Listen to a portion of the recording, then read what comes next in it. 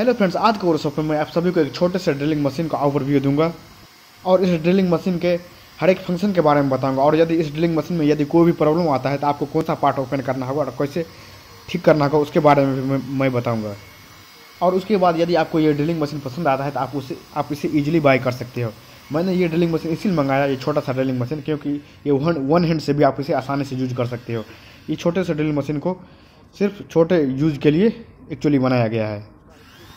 तो चलिए, अब हम इस ड्रिलिंग मशीन को इसके डब्बे से निकालते हैं और देखते हैं इस ड्रिलिंग मशीन के साथ हमें क्या क्या मिलता है। ये वंडर कट कंपनी इसके ब्रांड का नाम इसके ऊपर में लिखा हुआ है और इसके बारे में हम थोड़ा सा और ज़्यादा जान लेते हैं। यहाँ पर आप सबसे ऊपर आप देख सकते हो इसका ब्रांड का नाम लिखा हुआ है वंडर कट उसके बाद उसके नीचे में लिखा गया है। यहाँ पर आप देख सकते हो ब्रांड का नाम है वंडर कट फिर उसके नीचे में इसका डायमेंशन है। फिर उसके जस्ट नीचे में आप देख हो type power tool blue colour का है ये। ब्लू कलर में ये ड्रिलिंग मशीन आया है मेरे पास और इसका जो एमआरपी है वन नाइन नाइन नाइन कि दो हज़ार में से एक रुपया कम।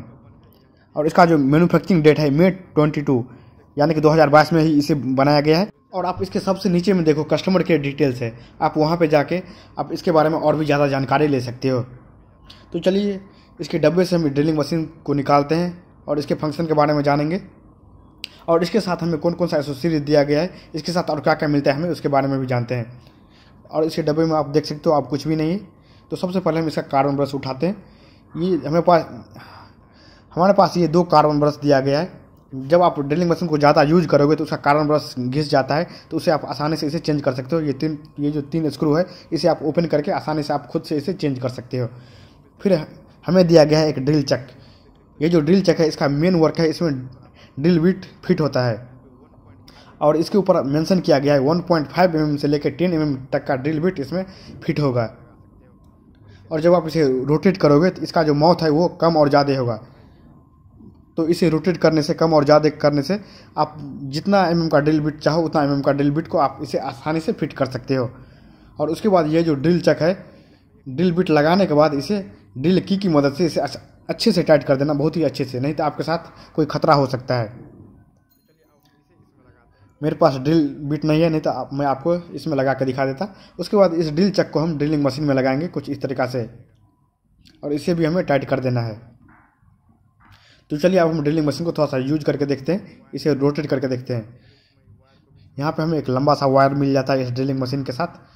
तो चलते हम इस वायर का क्वालिटी पहले देख लेते हैं। ये आप देखो इसे टच करने पर लगता है ये बहुत ही अच्छा क्वालिटी का वायर है। और इस पर हम पढ़ने का कोशिश करते हैं। Zero point seven five M M का वायर इसमें यूज़ किया गया है और दो वायर यूज़ किया गया है।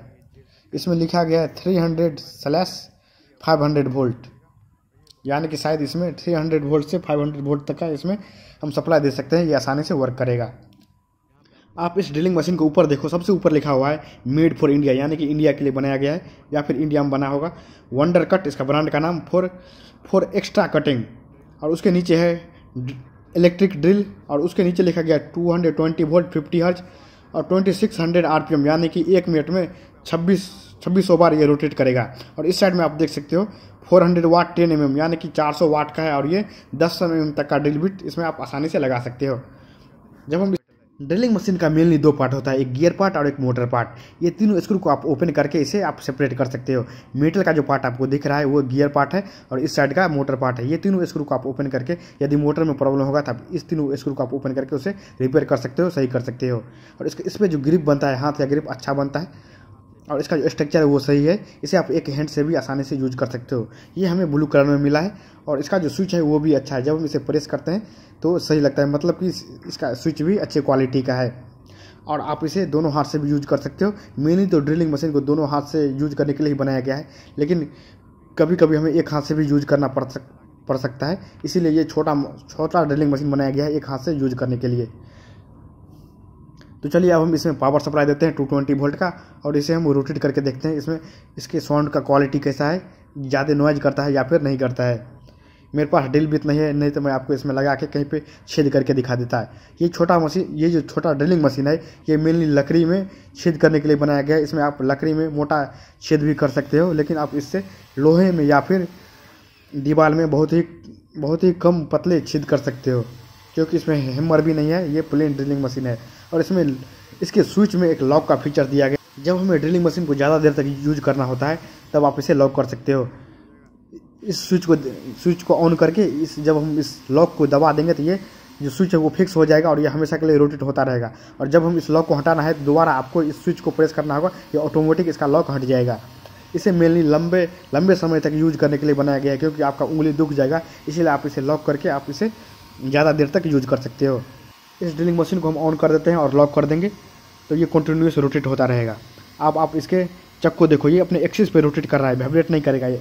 वाइब्रेट नहीं कर रहा है, यदि ये वाइब्रेट करेगा तो आप जितना एम का होल करना चाहते हो, उससे ज़्यादा एम का होल हो जाएगा। इसलिए ये, इस मामले में सही है और ये अच्छा वर्क करेगा। मैंने आपको इस ड्रिलिंग मशीन के हर एक चीज़ के बारे में बता दिया। यदि आपको यह ड्रिलिंग मशीन पसंद आता है तो आप इसे बाय कर सकते हो। और ये जो ड्रिलिंग मशीन है मेनली स्मॉल वर्क के लिए बनाया गया है, छोटा वर्क के लिए बनाया गया है, और इसे आप लकड़ी में तो आसानी से यूज़ कर सकते हो। हेलो फ्रेंड्स यदि आपको मेरा वीडियो पसंद आता है, मेरे वीडियोस कुछ सीखने को मिलता है, आप मेरे वीडियो को लाइक करके मुझे सपोर्ट कर सकते हो। धन्यवाद।